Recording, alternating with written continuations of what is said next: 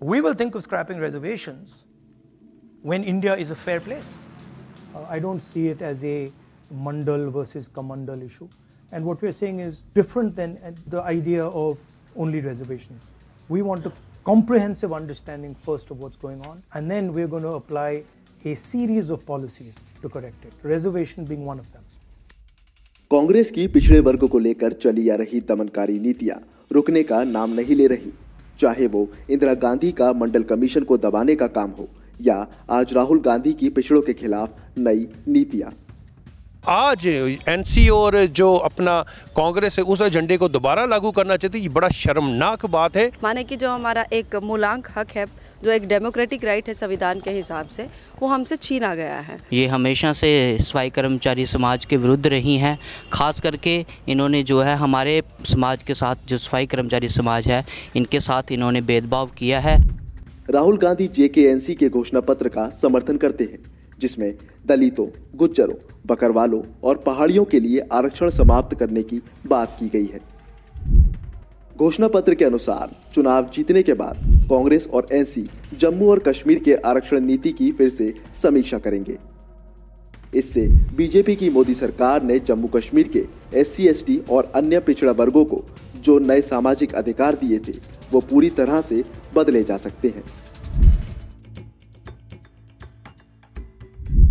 आइए जानते हैं कि आज़ादी से लेकर आज तक किस प्रकार कांग्रेस और गांधी परिवार ने भारत की जनता को आरक्षण में धोखा दिया। दशकों से कांग्रेस ने दलितों और पिछड़े समुदायों के लिए ज़रूरी सुधारों में बाधा डाली है। नेहरू से लेकर राजीव गांधी तक पार्टी ने सामाजिक न्याय का हमेशा विरोध किया है। नेहरू और बाबा साहब अंबेडकर के बीच विचारधारा को लेकर गहरे मतभेद थे। विशेष रूप से दलित अधिकारों और आरक्षण जैसे मुद्दों पर।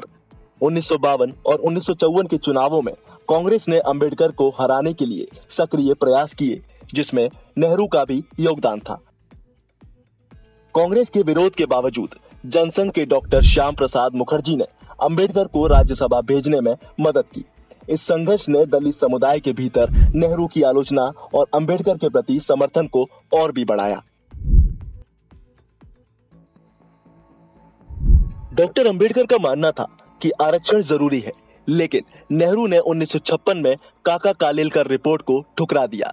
ये कांग्रेस का सामाजिक न्याय के खिलाफ एक अपमानजनक कदम था। 1961 में नेहरू की ये चिंता कि आरक्षण से उत्पादकता कम होगी, दलितों और पिछड़े समुदायों के प्रति उनके पूर्वाग्रह को उजागर करती है।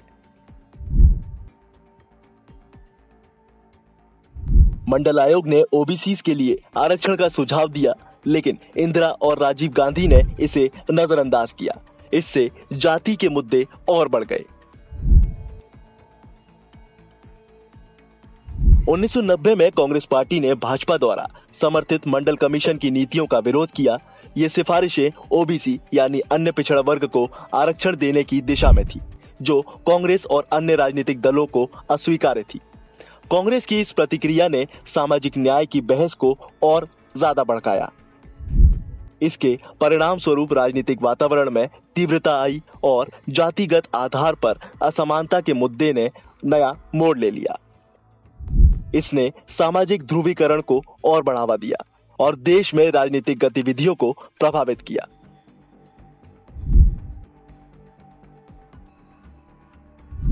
राजीव गांधी का कहना था कि आरक्षण से कामकाजी क्षमता कम होती है।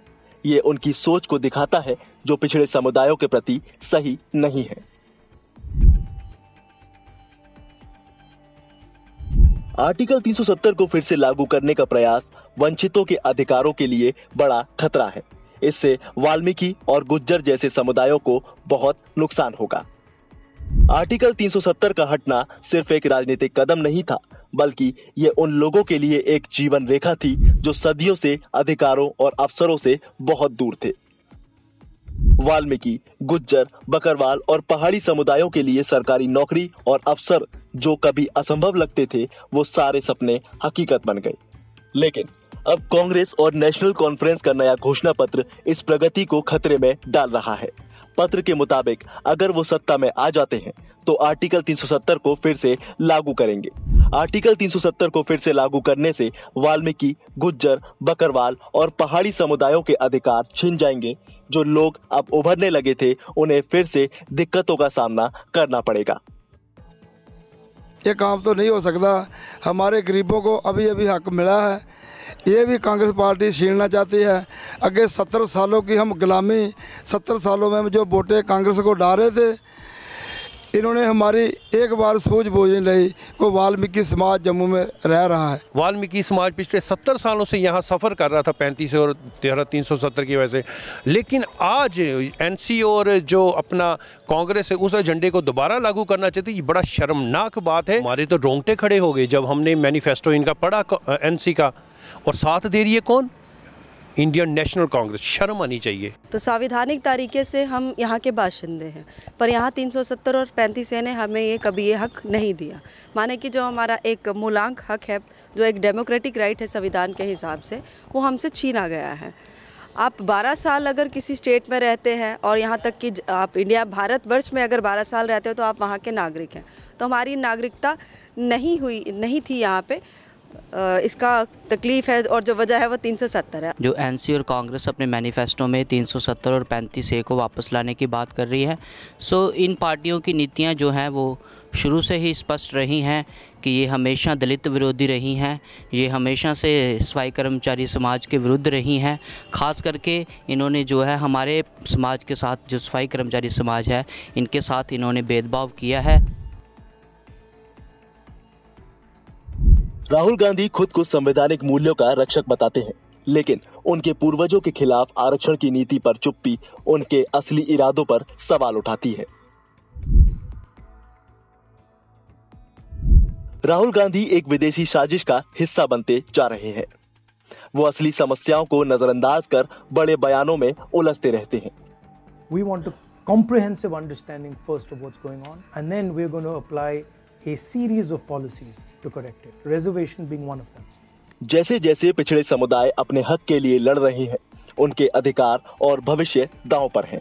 2024 के जम्मू और कश्मीर के चुनाव वाल्मीकि गुज्जर बकरवाल और अन्य पिछड़ा वर्ग समूहों का भविष्य तय करेंगे